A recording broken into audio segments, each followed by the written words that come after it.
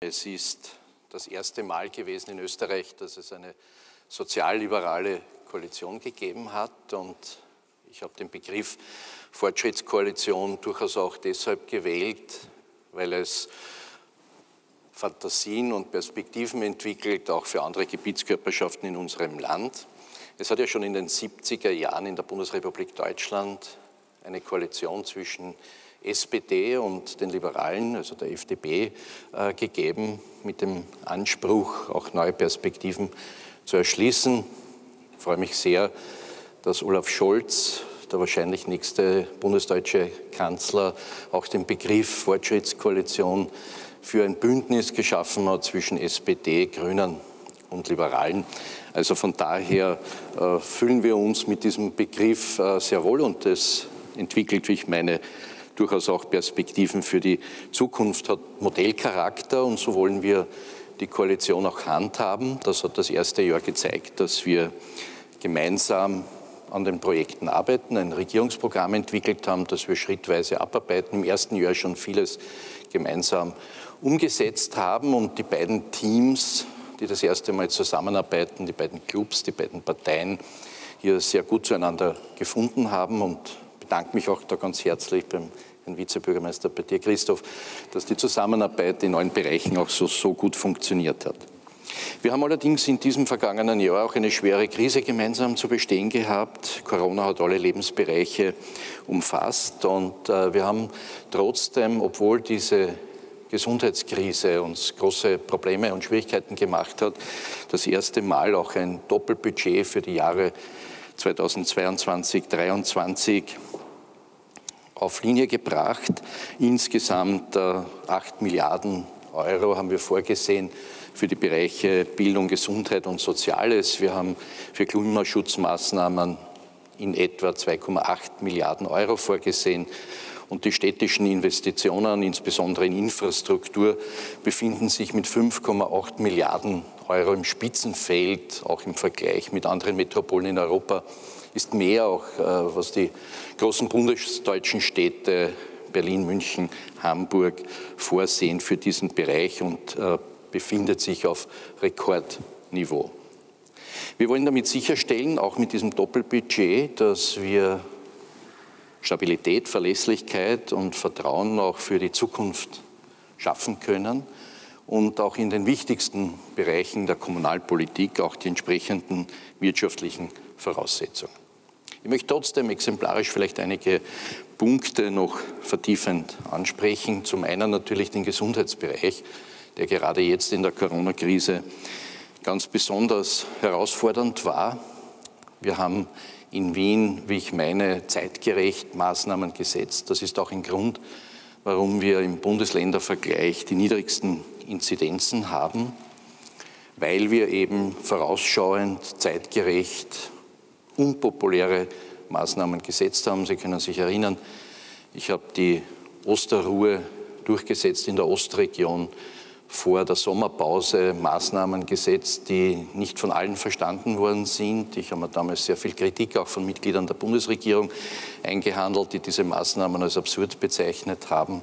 Und auch in der öffentlichen Diskussion äh, ist dieser Weg sehr oft negativ betrachtet worden. Heute sehen wir, dass wir in den Herbst gegangen sind mit niedrigeren Sieben-Tages-Inzidenzen, was uns helfen wird, viele Menschen gut durch diese Krise zu bringen. Ich kann mich auch noch gut erinnern, dass die Perspektiven, die wir eröffnet haben in Wien, nämlich den Ausbau des Gesundheitswesens, neue Spitäler zu errichten, nicht so, wie das vorgeschlagen war von politischen Mitbewerbern, aber auch von sogenannten Gesundheitsökonomen, die Spitalsbetten zu reduzieren, insbesondere die Intensivbetten. Von daher war es gut, dass wir unserem Weg treu geblieben sind, ein öffentlich finanziertes Gesundheitswesen weiter aufrechtzuerhalten. Das hat sich gerade in der Corona-Krise als besonders wichtig herausgestellt. Und wir haben äh, in dieser Corona-Krise mit einem sehr dichten Netz, das wir gebildet haben, ein Netz zwischen städtischen Einrichtungen, Blaulichtorganisationen, vielen Hilfsorganisationen, all jene, die wir auch unter dem Begriff Helfer Wiens schon seit vielen Jahren zusammengefasst haben, dass es möglich war, ein sehr niedrigschwelliges und breit gefächertes Angebot äh, zu stellen, um zum einen die Impfquote positiv zu entwickeln, aber auch Testformate zu schaffen, die es in dieser Form in keiner anderen europäischen Großstadt gibt. Äh, wir haben auch mit der Infrastruktur, die wir über viele Jahre aufgebaut haben, dem Biotech Center Vienna beispielsweise, aber auch mit Ärztinnen aus Wiener Spitälern wie die Frau Dr. Födinger, den Google-Test entwickelt, der mittlerweile auch international große Anerkennung gefunden hat und beispielgebend geworden ist für die gute und enge Zusammenarbeit zwischen der Stadt Wien, Wissenschaft und universitären äh, Einrichtungen. Und wir haben auch, was das Impfen betrifft, neue Wege beschritten. Wir haben äh, die Zeit vom Zweit- bis zum Drittstich verkürzt. Äh, wir haben Kinderimpfen ermöglicht.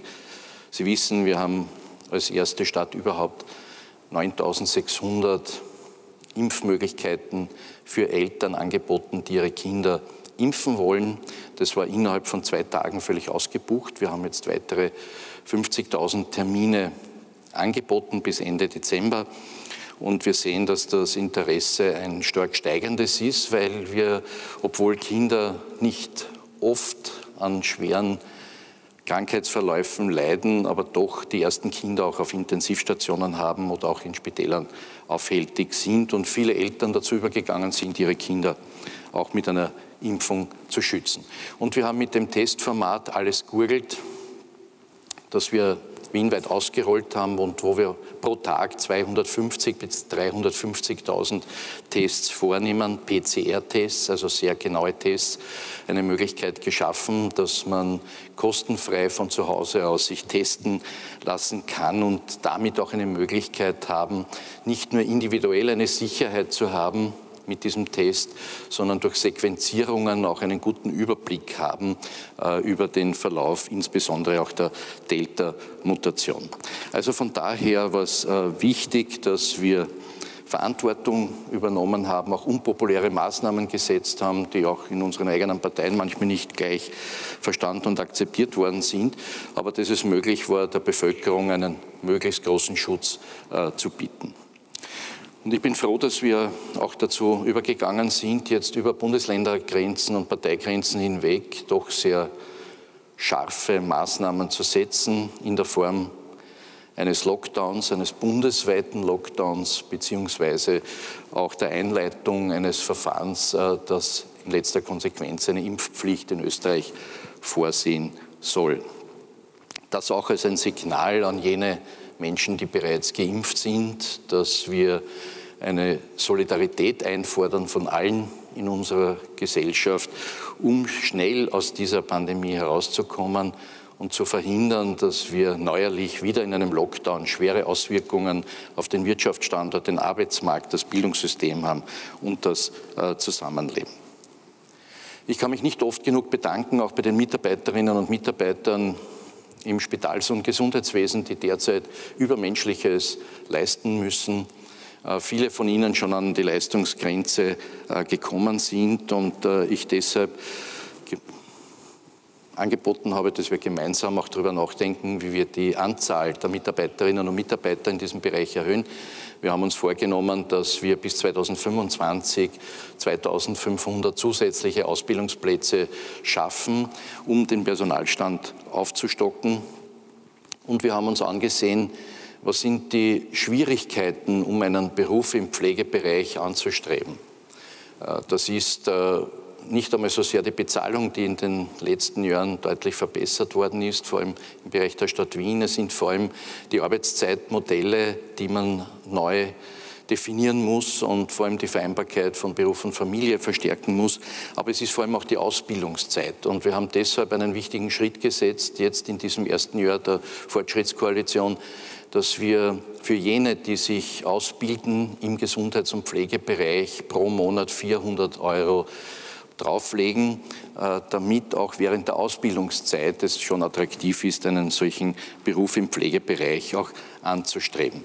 Wir haben in den kommenden 25 Jahren vor, dass wir 1,1 Milliarden Euro in die Ausbildung hier einsetzen werden, um den stark steigenden Bedarf nach Pflegekräften auch entsprechend abzudecken. Und es hat jetzt in diesem ersten Jahr unserer Koalition auch eine strukturelle Verbesserung im Gesundheitswesen gegeben. Wir haben sogenannte Erstversorgungsambulanzen geschaffen, die ersten beiden im AKH und in der Klinik Favoriten, wo es darum geht, Interessierte, die in ein Spital kommen, äh, zu behandeln und von dort aus, von einer Erstversorgungsambulanz, dann weiter in den Spitalsbereich zu bringen. Vieles wird man in diesen EVAs bereits äh, erledigen können. Ziel ist, die sonst sehr überlasteten Ambulanzen in den Spitälern äh, zu betreuen und zu versuchen, hier auch Patientinnen und Patienten umzuleiten. Und wir haben vor, dass wir insgesamt 36 Primärversorgungszentren schaffen. Das ist äh, ein Modell, das vorsieht, dass mehrere unterschiedliche Ärztinnen und Ärzte in einem Team zusammenwirken. Auch das eine Ergänzung zum niedergelassenen Bereich, weil wir sehen, dass vor allem junge, neue Ärztinnen und Ärzte lieber in einem Team tätig sind, als auf sich alleine gestützt als äh, niedergelassener Arzt oder Ärztin. Eine große Herausforderung für uns beide war auch die Bewältigung der Probleme am Wirtschaftsstandort, am Arbeitsmarkt. Hier gäbe es jetzt äh, viel darzustellen. Wir haben insgesamt 600 Millionen Euro in die Hand genommen, um insbesondere ein-Personenunternehmen, Klein- und Mittelbetriebe zu unterstützen, ergänzend auch zu den Maßnahmen der Bundesregierung. Und es war uns wichtig, in diesen 50 Einzelmaßnahmen, die wir gesetzt haben, zielgruppenorientiert, punktgenau hier zu helfen. Äh, ich möchte vielleicht den Gastrogutschein hier besonders erwähnen, äh, wo es in einer schwierigen Situation notwendig war, den Gastronomiebetrieben, aber auch den 66.000 Beschäftigten eine entsprechende Unterstützung sehr unmittelbar, unbürokratisch angedeihen zu lassen, indem die Wiener Bevölkerung motiviert worden ist, die gastronomischen Einrichtungen zu besuchen. Wir haben einen Gebührenerlass gemeinsam vorgesehen für Unternehmen, die besonders unter Druck gekommen sind in dieser Zeit und haben auch ein neues Modell geschaffen mit direkten Beteiligungen der Stadt Wien an privaten Unternehmen, die in Schwierigkeiten gekommen sind. Und den Arbeitsmarkt haben wir in zwei Gruppen ganz besonders unterstützt, nämlich zum einen bei den jungen Menschen, die eine Lehrstelle suchen. Hier haben wir gemeinsam mit den Sozialpartnern Modelle entwickelt, dass jene Mädchen und Burschen, die eine Lehre begonnen haben, diese aber nicht fertig machen konnten, weil nämlich ihre Betriebe in der Gastronomie, in der Hotellerie geschlossen gehabt haben, dass wir hier geholfen haben mit den Sozialpartnern, dass es zu einer entsprechenden Lehrabschlussprüfung kommen kann. Und wir haben die überbetrieblichen Lehrwerkstätten ausgebaut um insbesondere in der Phase, wo auch Klein- und Mittelbetriebe, die sonst Lehrlinge betreut haben und in dieser schwierigen Corona-Situation das nicht gemacht haben, äh, hier ergänzt worden sind durch diese überbetrieblichen Lehrwerkstätten. Und wir haben als zweite Zielgruppe definiert die über 50-Jährigen. Wir haben ja mit der Aktion 50 Plus bereits 1165 äh, Personen, die älter als 50 sind, am Arbeitsmarkt entsprechend untergebracht. Wir haben das aufgestockt auf 2000 Stellen, die wir auch finanziell unterstützen wollen. Die Stadt Wien gemeinsam mit dem WAF, den Wiener Arbeitnehmerinnen und Arbeitnehmerförderungsfonds und dem AMS. Und äh, wir haben vor, dass wir hier noch weitere 1000 Stellen in Kooperation mit der privaten Wirtschaft äh, zur Verfügung stellen, um gerade jenen, die am Arbeitsmarkt besonders unter Druck kommen, eine entsprechende Hilfe angedeihen zu lassen. Ein wichtiges Thema, für das wir in Wien auch bekannt sind, ist Wohnen. Wir haben derzeit 22.000 neue Wohnungen in Planung oder in Bau. Viele davon äh, Gemeindewohnungen sind 4.000 oder geförderte Miet- und Genossenschaftswohnungen. Äh, wir bauen auch den Bereich der Smart-Wohnungen weiter aus. Das sind Wohnungen, wo man keine oder fast keine Eigenmittel benötigt, um eine derartige neue Wohnung zu bekommen. Und wir haben gemeinsam Aktivitäten gesetzt, um Plattformen zurückzudrängen, die Wohnungen aus dem Markt genommen haben, um sie für Touristen zur Verfügung zu stellen. Also wir haben mit Airbnb beispielsweise harte Verhandlungen geführt, dass diese Plattform dazu übergegangen ist, keine Gemeindewohnungen mehr auszuweisen im Internet und sie auf illegale Art und Weise zu vermieten bei euren Mietern, Mieterinnen, wo wir draufkommen, dass das auf diesem Weg anderen Zwecken zur Verfügung gestellt wird, leiten wir ja Delogierungsverfahren ein. Ein Thema, das uns ebenfalls noch sehr wichtig ist, ist Klimaschutz. Hier haben wir vieles vor. Äh, wir haben uns vorgenommen, für diese Legislaturperiode 400.000 Quadratmeter mehr Grünfläche zu schaffen und das in einer Situation, wo wir schon in den letzten Jahren den Anteil an Grünraum in Wien von 50 auf 53 Prozent erhöht haben. Und äh, wir haben uns vorgenommen, dass wir bis 2025 25.000 neue Bäume setzen werden. Und zwar jetzt nicht im Wald irgendwo im Wienerwald, sondern in den Parkanlagen in unserer Stadt. Und das unter dem Motto raus aus dem Asphalt, wo wir uns vorgenommen haben, auch 20 Millionen Euro Förderung für Projekte in den Bezirken äh, anzubieten, wo auch im dicht verbauten Gebiet Bezirke dazu übergehen können, beispielsweise Bäume zu setzen oder andere klimarelevante Maßnahmen finanziell zu unterstützen. Und wir werden die größte Photovoltaik-Offensive umsetzen bis 2025. Wir haben uns vorgenommen, pro Jahr Photovoltaikanlagen in der Größenordnung von 100 Fußballfeldern zu realisieren. Das ist uns jetzt im ersten Jahr schon gelungen und das wollen wir jetzt im äh, kommenden, in den kommenden Jahren auch so weiter umsetzen, bis wir 2040 CO2-neutral sind. Ein sehr ehrgeiziges Ziel, das wir aber durchaus auch äh, auf Linie haben. Und eine wichtige Maßnahme im Klimaschutz ist der Ausbau des öffentlichen Verkehrs. Wir haben jetzt vorgesehen, dass wir die U-Bahn-Linien U2, U5 ausbauen nach Herneuss und zum Wienerberg. Das werden insgesamt elf Kilometer sein mit zwölf neuen Stationen, weil das eines der wirksamsten Instrumente ist, um die CO2-Emissionen äh, zu reduzieren. Und das kombiniert auch mit dem Ausbau von Straßenbahnen wie der Linie 27 zwischen Floridsdorf und der Donaustadt, aber auch dem flächendeckenden Parkpickel, das ab 1. März 2022 dafür sorgen wird, dass es weniger Verkehr in unserer Stadt gibt.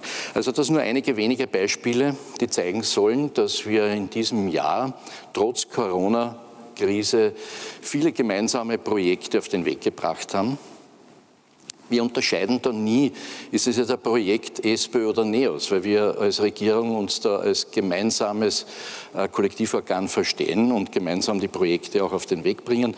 Und das ist auch gut so, denn wir haben auch unsere Diskussionen innerhalb der Stadtregierung.